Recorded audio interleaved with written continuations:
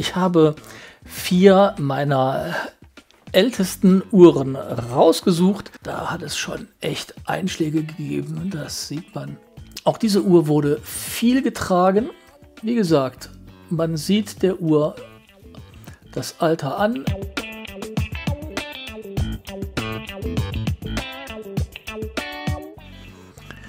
Hallo und willkommen bei Watchmaxes Uhrenvideos. Mein Name ist Axel und ich freue mich, dass du wieder reingeklickt hast. Mit einem neuen Objektiv an der Kamera, einem Makroobjektiv, kommen auch neue Uhrenideen. Und zwar werde ich in diesem Video vier meiner ältesten Uhren nehmen und sie mit dem Makro vergleichen und euch zeigen, welche Spuren des Lebens die Uhren bekommen haben, beziehungsweise welche Uhr gegebenenfalls auch keine Spuren bekommen hat. Ich werde ausschließlich mit dem Makro draufhalten, keine andere Linse. Ich werde die Uhren noch nicht vorstellen mit äh, Spezifikationen und so weiter und so fort. Zu all diesen Uhren habe ich bereits separate Videos gemacht. Schaut es euch gerne an, wenn es euch interessiert. Hier geht es wirklich nur um den Vergleich der Alterungsspuren und wie Uhren von nahem Betrachten aussehen, wenn sie etwas gealtert sind. Mehrere Jahre im Gebrauch. Wie sehen die Uhren dann aus? Ich habe vier meiner ältesten Uhren rausgesucht. Der Reihe nach, das hier ist ein Camel Super Chrono. Den habe ich von Freunden zum 30. Geburtstag geschenkt bekommen und ist damit 26 Jahre alt und den habe ich lange Zeit so getragen, wie ich gedacht habe, dass Camel Super Chrono Uhren getragen werden müssen, sprich rücksichtslos. Hier haben wir die Frederic Constant Carré Moonface als Quarzversion.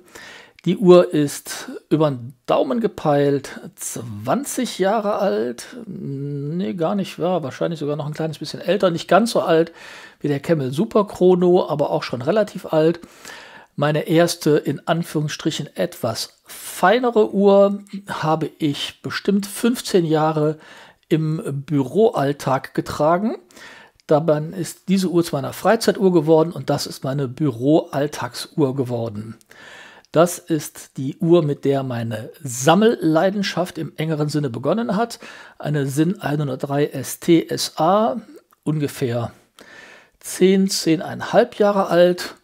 Und die U1, meine zweite Uhr aus meiner Sammelleidenschaftsphase, ungefähr ein halbes Jahr jünger als die 103, also auch um die 10 Jahre alt.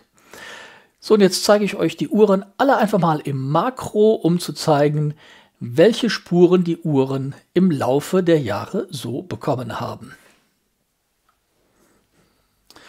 Fangen wir mal mit der Camel an. Und hier kann man schon sehen, die hat wirklich gelitten. Das Glas hat etliche Kratzer. Die Lünette hat einen Abplatzer. Ja, hier kann man das ganz gut sehen mit dem Glas.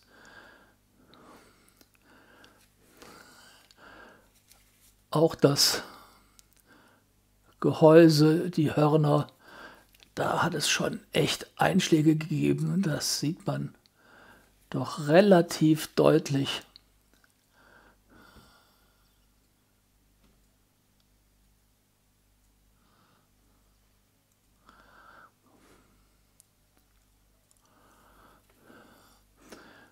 Und der Boden, der hat leider auch so manchen unfähigen Uhrmacher gesehen. Ja, man kann auch hier am Boden sehr gut sehen, was der gelitten hat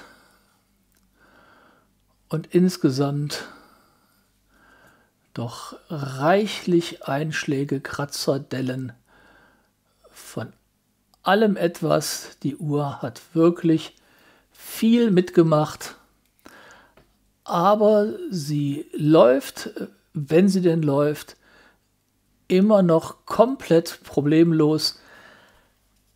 Das Einzige, was mich an dieser Uhr wirklich massiv nervt, ist das Werk.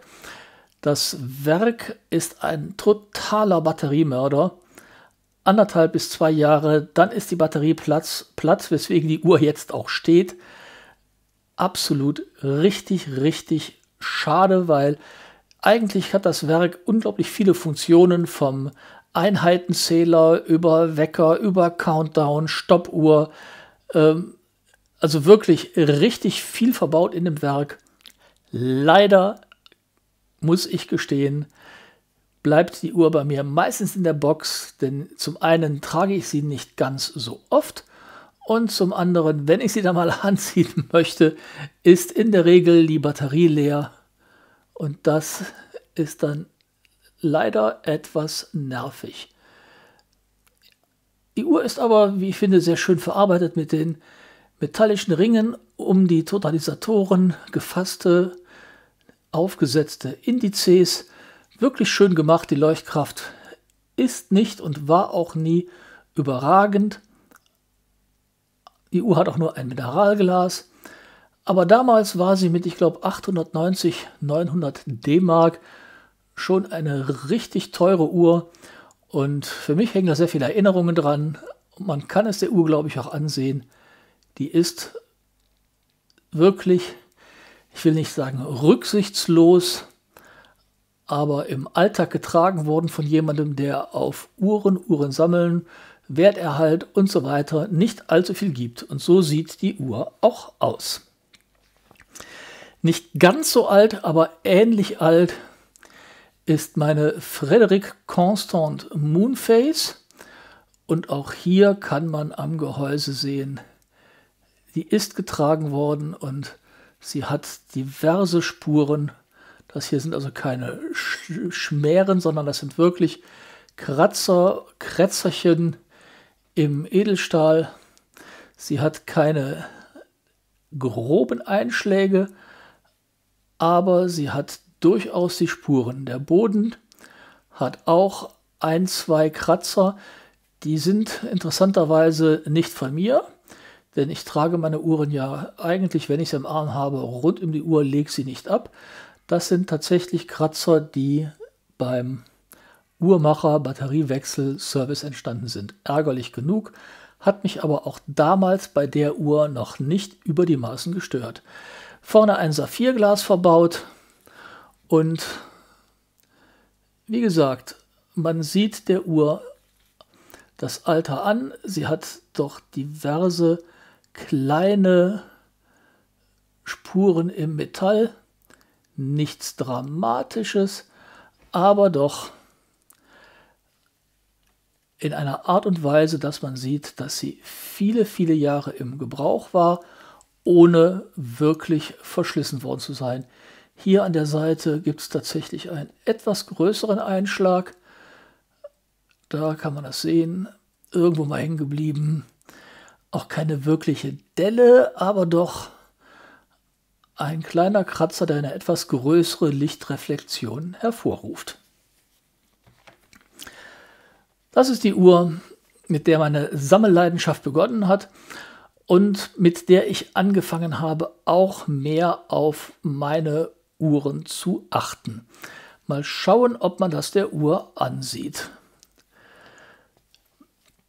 Auch diese Uhr wurde viel getragen, aber an den polierten Hörnern denke ich, sieht man, dass es hier doch deutlich weniger Gebrauchsspuren gibt als an der Frederic Constant oder erst recht an der Camel Super Chrono.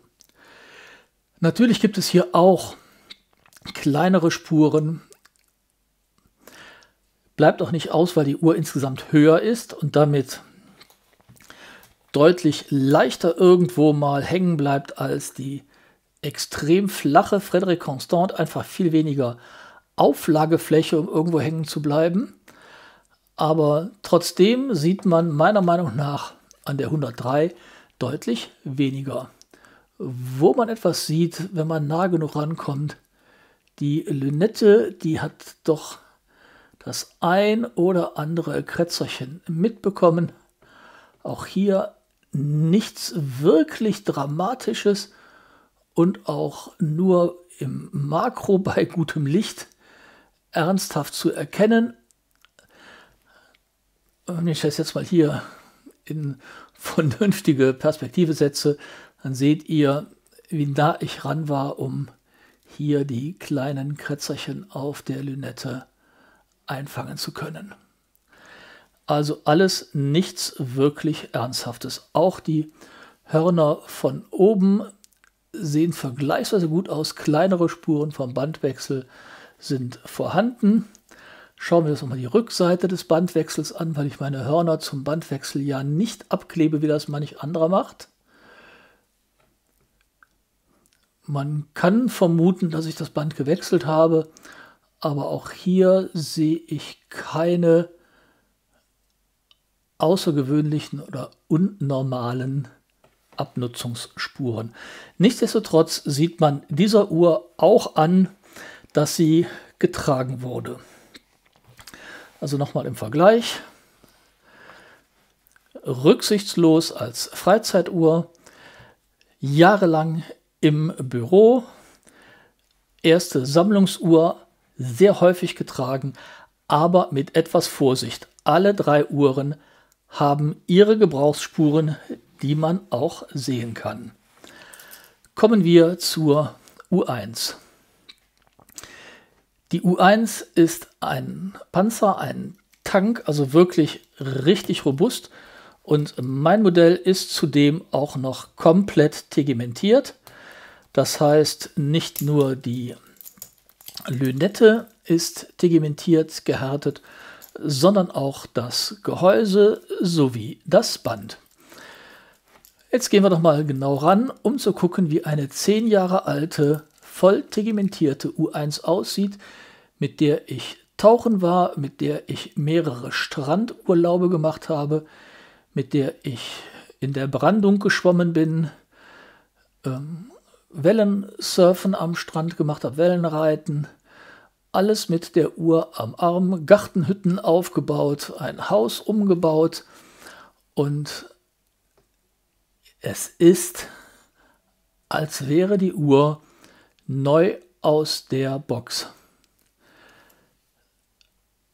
Also hier kann man wirklich sehen, was die Tegimentierung ausmacht und wie gut sie die Uhr schützt. Das habe ich hier ein bisschen Abrieb. Machen wir den weg. So. Also da ist wirklich kein Kratzer dran, auch an den Löchern vom Bandwechsel. Und ich habe viele Bandwechsel mit der Uhr gemacht. Auch da ist nichts zu sehen. Wenn man ganz nah rangeht, das Loch absolut sauber. Die Hörner, die Anstöße. Noch einmal die Lünette von der Seite. Ich habe hier auch verschiedene Male die Lünette gewechselt, man sieht es an der Schraube hier, die hat ganz leichte Gebrauchsspuren, ohne doll gedreht zu sein. Richtig, richtig gut. Auf der Schließe sieht man ein paar wenige Spuren. Hier unten in dem Bereich sieht man ganz leichten Abrieb der Mattierung. Oben muss ich auch gucken, wie ich das einfangen kann. Ja, hier oben sind ganz, ganz leichte Kratzer. Also wirklich, ich muss sie suchen, um sie einfangen zu können. Unglaublich wenig, was man hat. Was die Uhr allerdings hat, und das kommt vom Schwimmen im Meer und dem Sand am Strand, das mattierte Armband ist poliert an einigen Stellen. Man kann es hier im Licht ganz gut sehen, wie auf den Wölbungen der Glieder das Licht etwas glänzt und spiegelt. Es ist noch nicht wirklich glänzend poliert, aber es ist ganz eindeutig weniger matt als auf der anderen Seite, wo ihr sehen könnt, dass die matte Reflexion gerade über das Glied hinweggeht und das Ganze einen einheitlichen grauen, matten Schimmer erzeugt. Auf der Seite, auf der der Sand vorbeigeflossen ist, ist die Reflexion etwas schärfer und man kann einen etwas helleren Streifen erkennen. Das insbesondere bei dem Glied hier sieht man das gerade ganz gut. Das kommt durch die Politur des Sandes in der Brandung am Meer. Zum Teil mit der Hand einfach im abfließenden Sand aufgestützt, dann ist der nasse Sand an der Uhr vorbeigeflossen und das ist das Ergebnis davon. Keine Kratzer, keine Dellen, auch an der Seite nicht. Egal von welcher Seite ich gucke, wirklich richtig richtig gut und robust. Das ist die Erfahrung, die ich mit tegimentierten Uhren grundsätzlich gemacht habe. Und so kann eine Uhr nach über zehn Jahren aussehen, wenn sie tegimentiert ist. Die Gebrauchsspuren der anderen Uhren hatte ich euch ja bereits gezeigt. So viel zum Alter von Uhren. Schreibt mir doch gerne in die Kommentare, wie eure alten Uhren aussehen oder aber ob ihr euch die Uhren noch nie so genau angesehen habt, wie ich das heute gemacht habe. Ich persönlich war echt überrascht, was man alles sieht, wenn man genau nah und direkt drauf guckt. Am Arm fällt das meiste davon überhaupt nicht auf. Die Makros haben mich zum Teil tatsächlich erschreckt. In diesem Sinne bleibt gesund, erfreut euch an euren eigenen Uhren, freut euch auf meine nächsten Videos. Bis dahin, tschüss, euer Axel.